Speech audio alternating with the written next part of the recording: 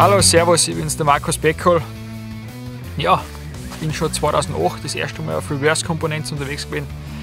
Die Heike und der Peter von Reverse Components äh, haben mich von Anfang an in meiner Karriere unterstützt und bin jetzt ja, mega happy wieder zurück bei der Firma zu sein, äh, gemeinsam äh, die Sachen weiterzuentwickeln und wie ihr jetzt gesehen habt, war ich gerade mit dem E-Bike unterwegs und da haben sie die Jungs und Mädels aus Deutschland wirklich was überlegt. Ja, super Komponenten, speziell gebaut für die E-Bikes. Es sind Lenkervorbauten, Pedale, Sättel. Einfach die Vorteile, sie halten länger, höhere Sicherheitsstandards. Die Ergonomie ist ans E-Biking anpasst, also man kann richtig lang unterwegs sein, ohne irgendwelche Verspannungen zu spüren. Ja, mega happy mit den Produkten. Schaut vorbei auf reversecomponents.com.